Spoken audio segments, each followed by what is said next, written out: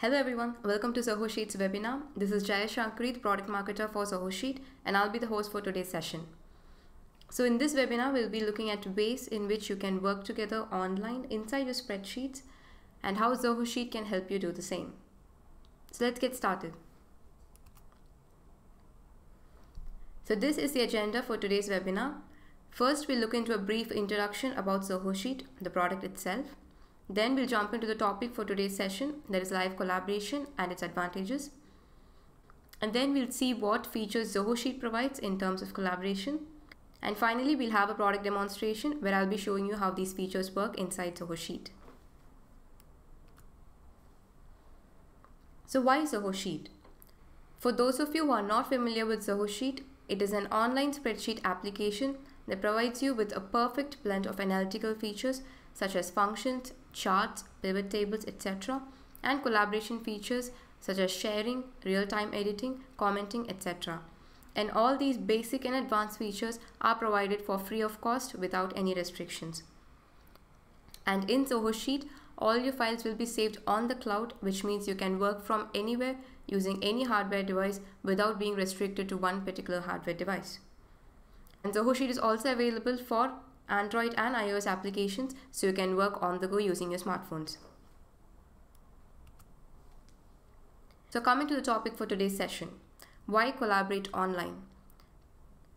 Collaborating online in real time has many advantages and here are some. So first, when you work offline, you'll be creating multiple copies of the same file, thus creating a lot of confusion. But when you collaborate with your team online, you can avoid multiple copies of a file and thus avoid confusion. Also, when you have your team collaborating and working simultaneously, you save a lot of time and eventually your team's efficiency increases. Another major advantage of collaborating online is that you can work from anywhere. This does not require a physical office environment for the team to work together. So no matter where your team is located, you can collaborate anytime. And finally, you can also keep track of what exactly happens inside your file, thus having control over your data. So these are the features that are provided by Zoho Sheet in terms of collaboration. We'll be looking at all of these features during the demonstration. Firstly, you can share your files with user-specific permissions, so you can decide who can edit your file and who cannot. Secondly, you can view changes that are made by your collaborators in real time as and when they are made. And then we have contextual commenting where you can make comments for certain cells or ranges. And also you can hold group discussions inside the spreadsheet itself. Also, you can protect certain parts of your data while working with your team by protecting them using lock cells. And also you can review the changes made by your team and even revert back to the older versions if required. So let's jump into the demonstration and see how these features work inside Zoho Sheet. So this is the spreadsheet I'll be using for the demonstration. So this spreadsheet is about a team working together for an event. So here you can see that the first sheet has a task, a to-do list, and second sheet has a budget report, and the third sheet has a schedule. So in this task list, you can see that there are four sections having various uh, tasks to be performed and you can also see the names of those colleagues that are supposed to take care of these tasks. So the first step for collaborating online is that you'll have to make sure you have shared your file with all the necessary team members. So now I'm going to share this file with Carla. For that, you can find the share option here on the top right corner of the spreadsheet editor. So once you click on share here, that will open up the share dialog for you. You can see a drop down here near visibility. So once you click on that drop down, it'll give you four different ways in which you can share your file. So the first one is collaborators only. If your team has a lesser member count, you can go with this option where you can share this file using individual email IDs of your team members or other collaborators. Secondly, if you have a larger team or if you want to share the spreadsheet across your organization, you can go with this option. So this op this will generate a link for you using which you can share this spreadsheet with anyone in your organization. So here you can see it is mentioning everyone in Zilker. So Zilker is the organization. And thirdly, you can share this spreadsheet publicly with a link and a password protection. So only those with the link and the password can access this file and the others cannot. So this way your file will stay protected and you can also share it with a wider audience. And finally, you can share it and finally you can share it with a public link so everyone who has this link can access your file even if they are not a part of your organization. So now that I'm going to share this file with only one member, I'm just going with the collaborators only option. So now I'm going to start typing in Carla's email ID. So as I start typing in Carla's email ID, you can see that I get a contextual list of suggestions. So it makes it easier for me to pick the email ID or the person I'm looking for. So I need not even remember the whole email ID. So that's the person I'm looking for, that is Carla Reynolds. So I'm just going to select it. On the right side, you can see there's another drop down which has the list of permissions you can set. So as I had mentioned before, you can set user specific permissions while sharing your sheet. So you can decide who can have the access to edit your file and who cannot. So the first permission here is read only. That means the collaborator can only view your file and not make any changes. The second one is read and comment. So the collaborator can view and make a comment on your file, but they cannot make any changes in it. The third one is read and write. So as the name indicates, the collaborator can view and make changes to your file.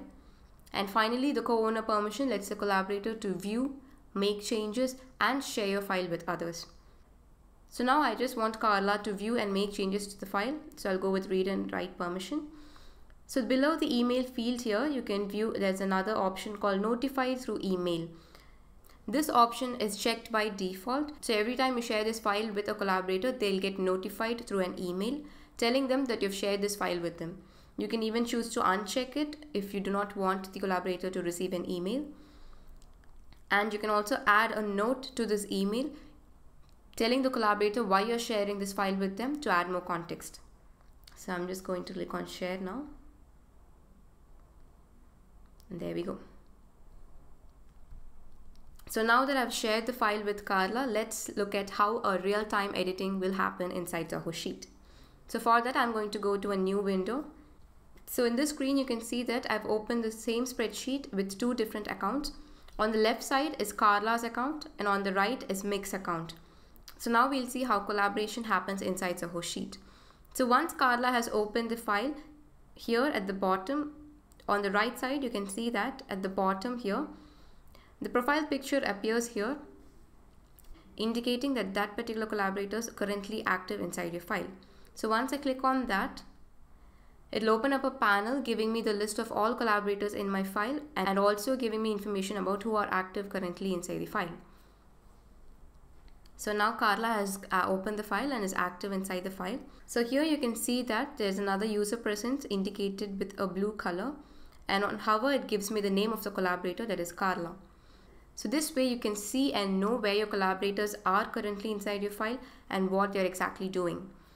So now on, I'm just going to uh, the left side that is Carla's account and I'm going to start typing in a cell.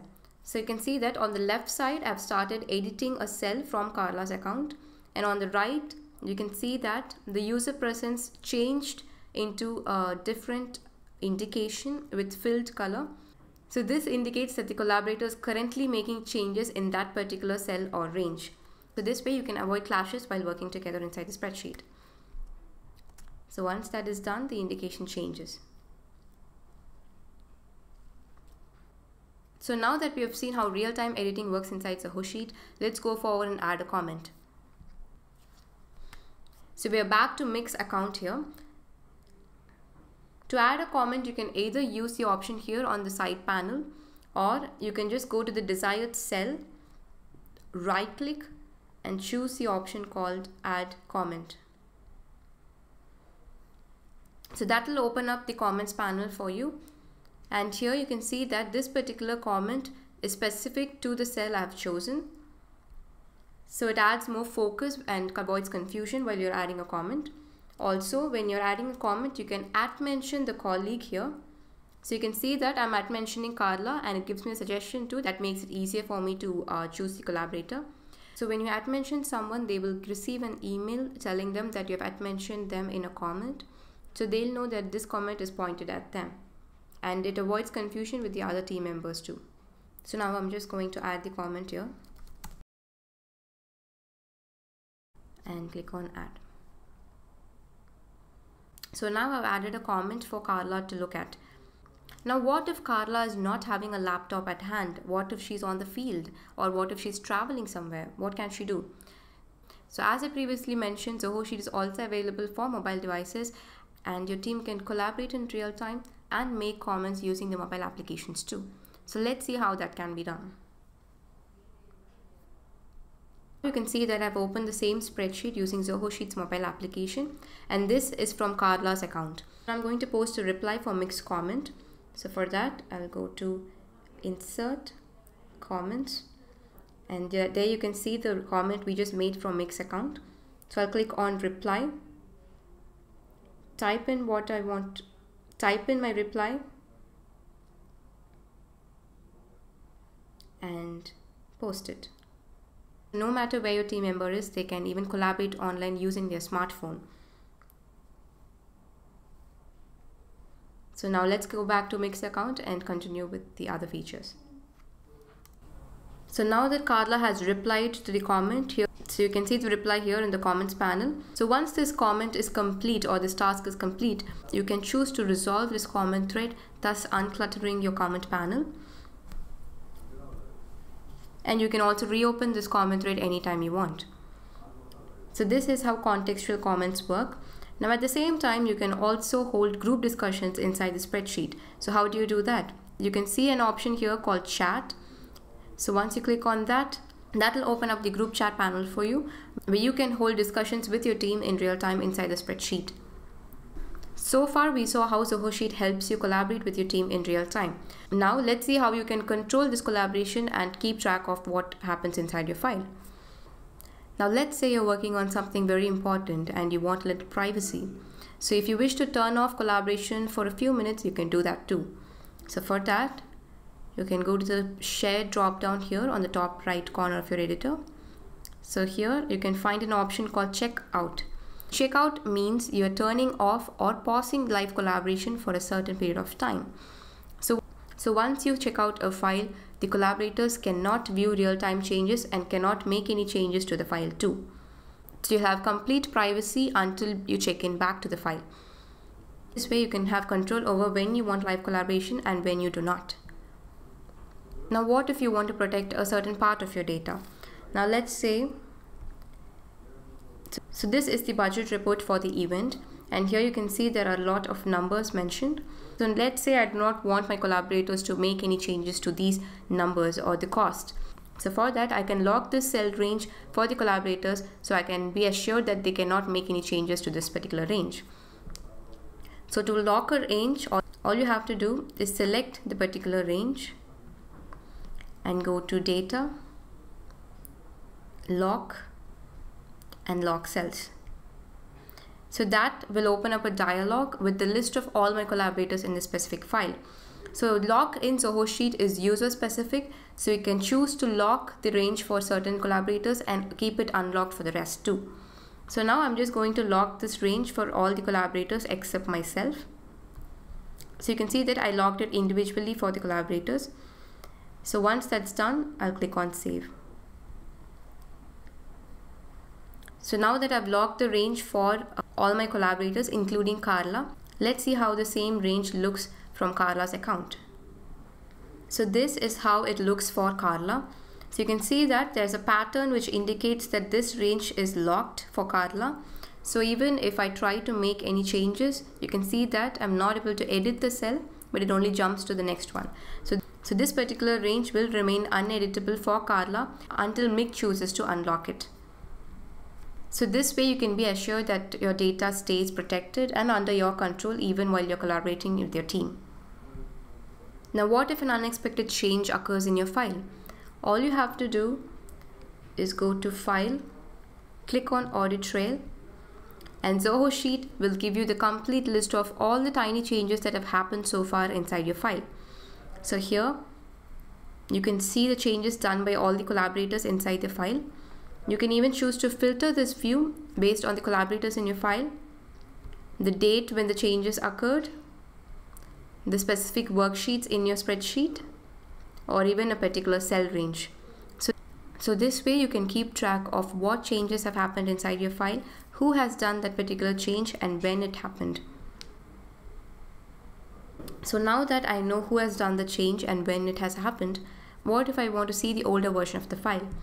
For that, go to File, click on View Version History, and you can see that on the right side, the version history panel opens up with a list of all the older versions of your file. Zoho Sheet takes automatic backups of your file, so you can refer and go back to the older versions anytime you want. So once you click on the older versions here from the panel, on the left side, you can see the preview of that particular version. So you can see that on the left side for this particular version, the table color is different from that of the current version. Also on the top, you can see there are certain options provided. To mark this version allows you to name a specific version so you can find it later on. You can also revert back to an older version. You can delete it you can save it as a new spreadsheet or even export it. You can view the macros in the version or even the changelog specific to the version. So that's all about collaboration in Zoho Sheet. In this webinar, we saw how Zoho Sheet helps you collaborate in real time with your team and also keep control over your data while doing the same. If you have any questions or feedback about this webinar or the features or Zoho Sheet in general, you can drop them as comments below or drop us an email at support at zohosheet.com and we'll be happy to help. Thank you for joining this webinar. Hope you found it helpful. Thank you.